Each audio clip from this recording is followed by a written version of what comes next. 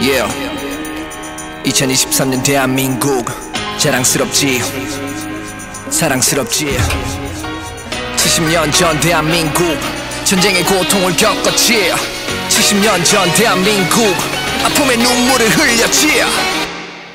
But 미국과 함께 튼튼한 동맹의 관계로 든든한 동맹의 친구로 대한민국 with 미국 전쟁의 상처는 당당하게 극복 한강의 기적은 보란듯이 성공. 이게 바로 한미동맹 70년의 스토리 대한민국과 미국의 케미스트리 아하 두 나라의 70년 케미. 믿고 따라와. 지금부터 새로운 케미 보여줄게.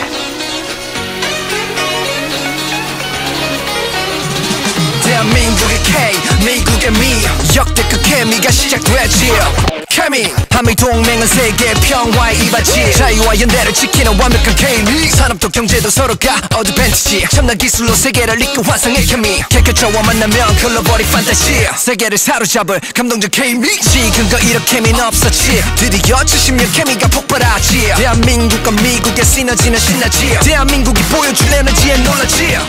Yeah. 기대해. 대한민국의 K. 미국의 미 두 나라 케미가 우리 미래를 밝혀줄 테니까. 기대하라. 70년 케미를